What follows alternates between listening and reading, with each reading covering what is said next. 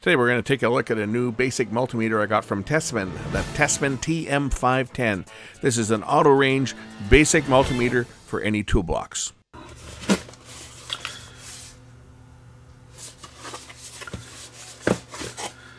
Auto ranging non-contact voltage detector has a flashlight, data hold, LCD backlight, 4000 counts is what they say. So it opens up just like this, comes in a little package, instruction manual, We'll forget that. Let's take a look at the goods.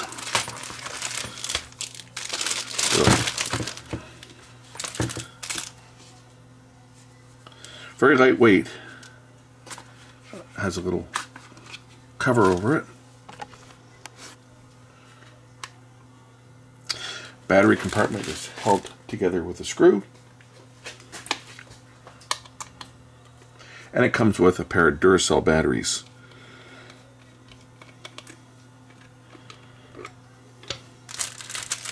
AAA.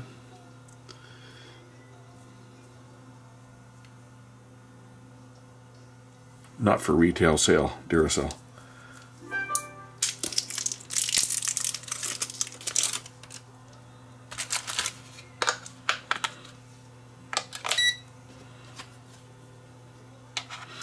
Load up the batteries and the meter comes to life.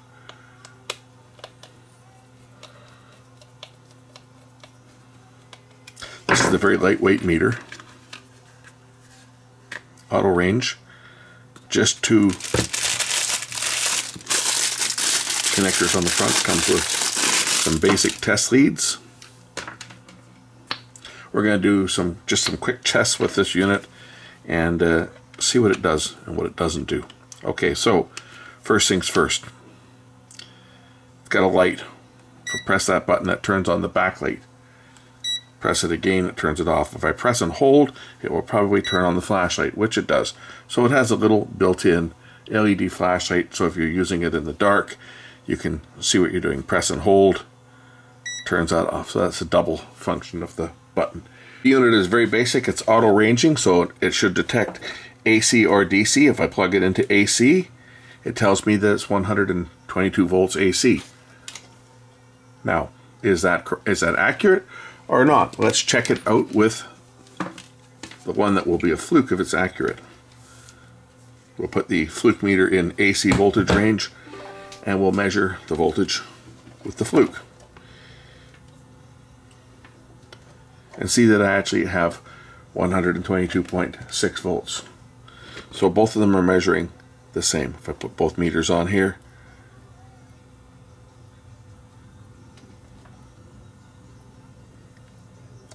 both are measuring exactly the same 122.7 volts coming off my Variac. If I turn my Variac down to 120,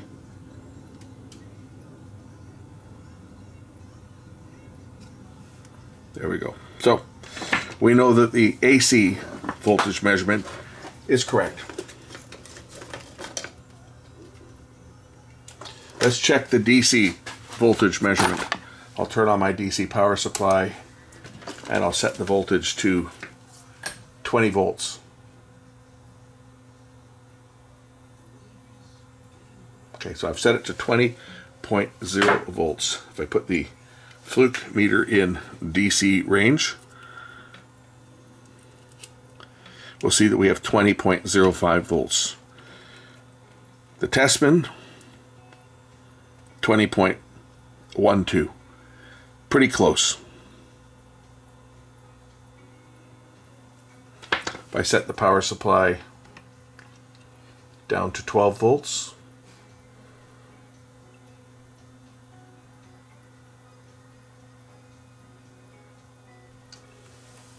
Twelve point zero this one's measuring 12.04. I think probably close enough. for one hundredths of a volt is pretty accurate. What else can we measure with this? Let's measure some resistors. First I have a 2.2K resistor. We'll measure it on the Fluke. The Fluke says 2.208K. Measure it on the Tesmen. 2.2 2.22. So again, it's fairly accurate. Another resistor here.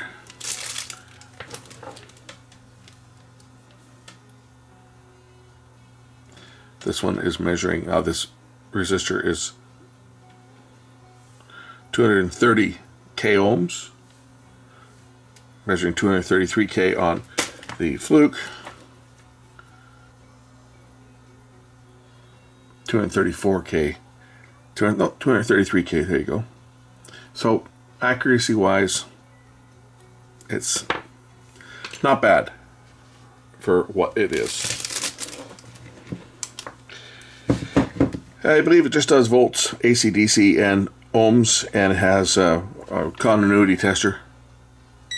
So when you've got continuity, it will beep.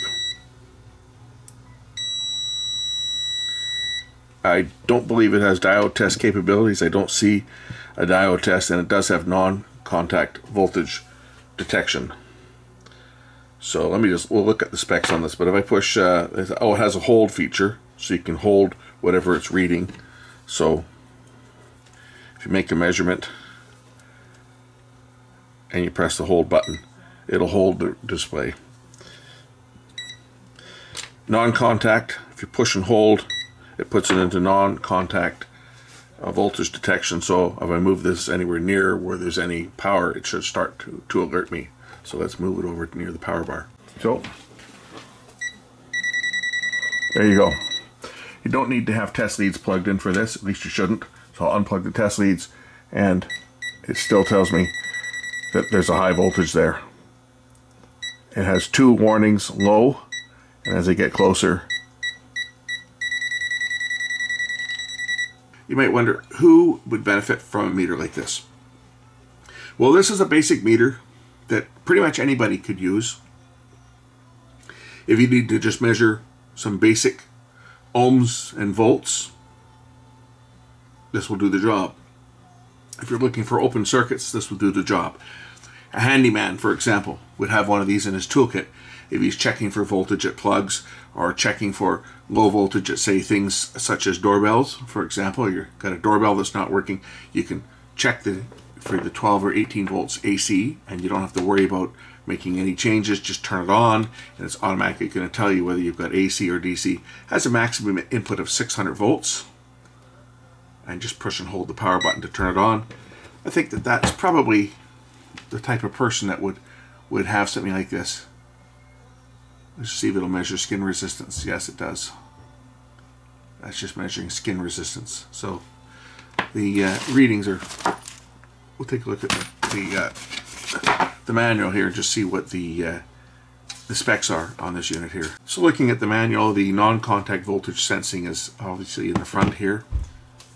Okay, you got your indicator light, your LCD display, hold button, power button, backlight, flashlight button. We already figured this out. Input terminal, common terminal, and test leads says uh, data hold, press this button while performing a test to hold and freeze the, dis the display for easy reading. Already figured that out. Non-contact, press and hold a long press. Already figured that part out too. Here's our specifications. Over range shows OL and has a low battery indicator. Tells you your polarity, DC negative or DC positive.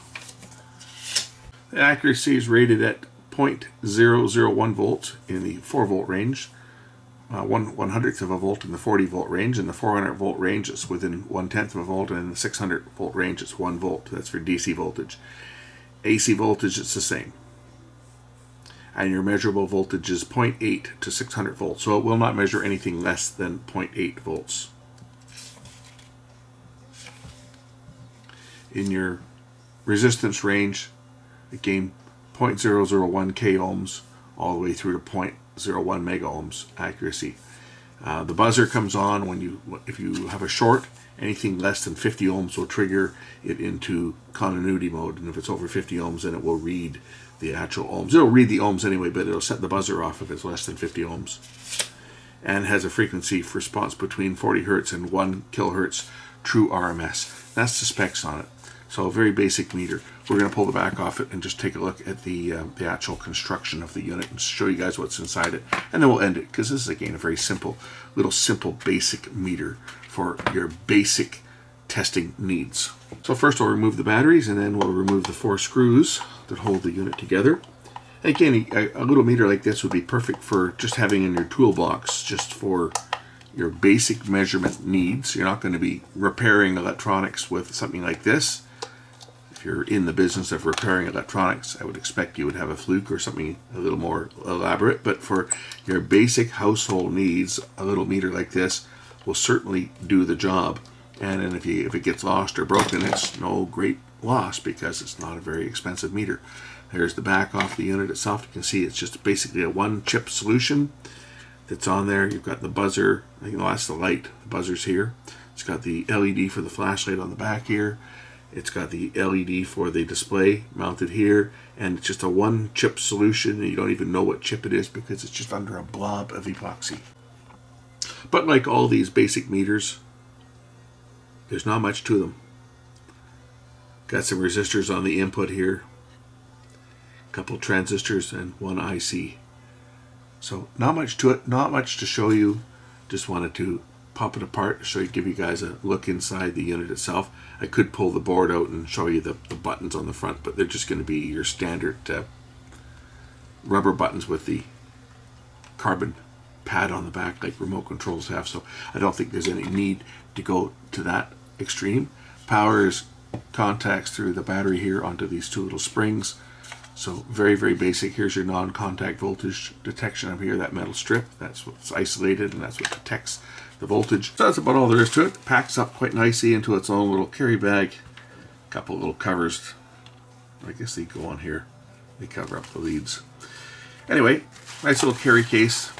Be nice in anyone's toolbox for when you need to make a quick measurement when you're out in the field. Thanks for watching. The link is in the description. We'll catch you in the next one. Bye.